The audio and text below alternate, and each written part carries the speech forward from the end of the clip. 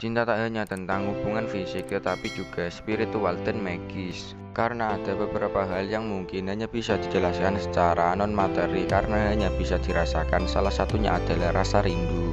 Merindukan seseorang mungkin mudah kita ketahui cirinya Tetapi bagaimana saat ada seseorang yang merindukan kita? Berikut adalah cara mengetahui seseorang sedang merindukanmu kamu sering memimpikannya. Sebagai seorang yang memiliki mimpi yang sering dan kuat tidak asing dengan orang-orang yang muncul di dalamnya.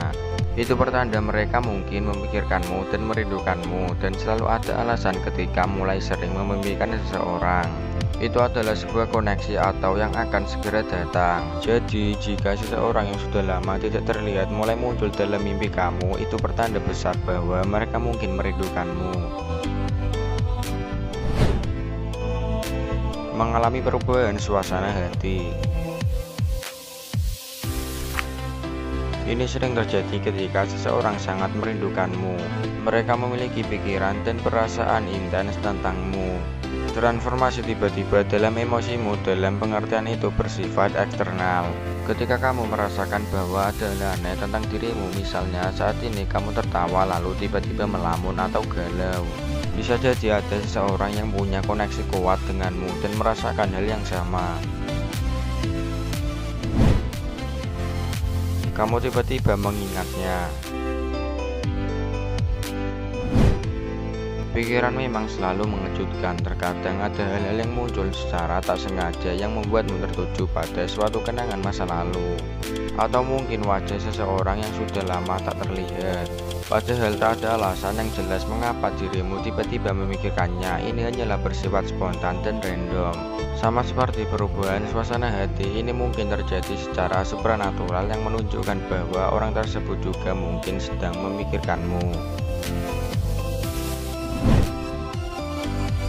bulu mata rontok Entah mitos ini mulai dari mana, tetapi saat kamu mengalami bulu mata yang tiba-tiba jatuh, mungkin ini pertanda kuat bahwa ada seseorang di luar sana tengah merindukanmu. Bulu mata yang jatuh juga sering dikaitkan dengan hubungan asmara atau dikaitkan dengan kejadian yang menyenangkan. Perasaanmu mengatakan bahwa dia sedang merindukanmu. Saat kamu terhubung kuat dengan seseorang bahkan saat kalian tidak saling menghubungi satu sama lain Tetapi firasatmu mengatakan bahwa dia sedang merindukanmu atau terus-menerus memikirkan namanya Hal ini berarti bahwa kalian terhubung secara emosional dan mengenali energi yang diberikan kepadamu Itulah beberapa tanda bahwa seseorang tengah merindukanmu Nah, sekian video ini. Terima kasih.